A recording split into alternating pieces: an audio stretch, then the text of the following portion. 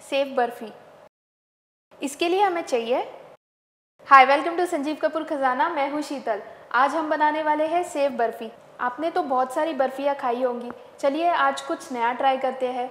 इसके लिए हमें चाहिए 250 ग्राम अनसॉल्टेड सेव 500 ग्राम मावा, एक कप चीनी, दो छोटे चम्मच और एक कप दूध, तीन से चार ड्रॉप रोज़ एसेंस 10 से 12 बारीक कटे हुए पिस्ता 10 से 12 बारीक कटे हुए बादाम 10 से 12 बारीक कटे हुए काजू।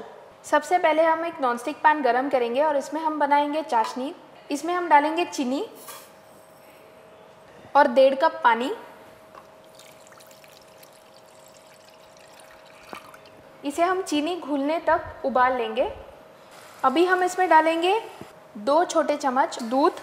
ये हम इसलिए डालते हैं कि चीनी में जो गंदगी होती है, वो उससे निकल जाती है।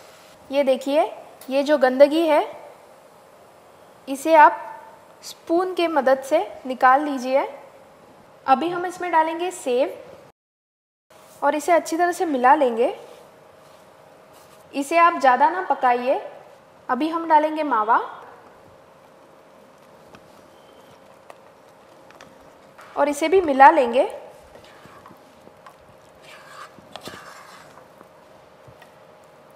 इसमें हम डालेंगे एक कप दूध।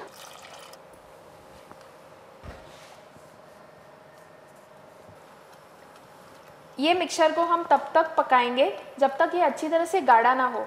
ये देखिए अच्छी तरह से गाढ़ा हो चुका है।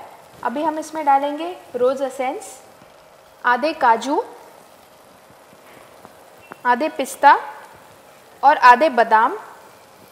और इसे भी अच्छी तरह से मिला लेंगे।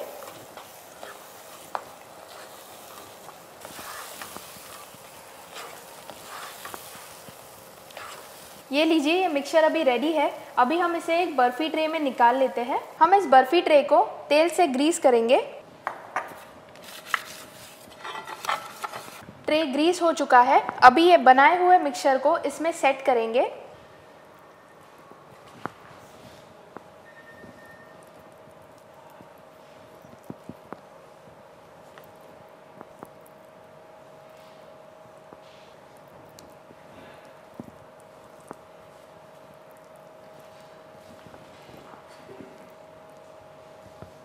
अभी हम इस पर डालेंगे बचे हुए पिस्ता, काजू और बादाम। और इसे हम रेफ्रिजरेट करेंगे जब तक ये सेट ना हो। ये लीजिए, सेव बर्फ़ी अच्छी तरह से सेट हो चुकी है।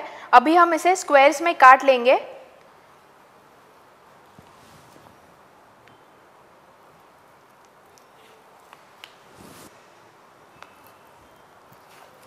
अभी हम इसे एक सर्विंग प्लेटर में अरेंज करते हैं।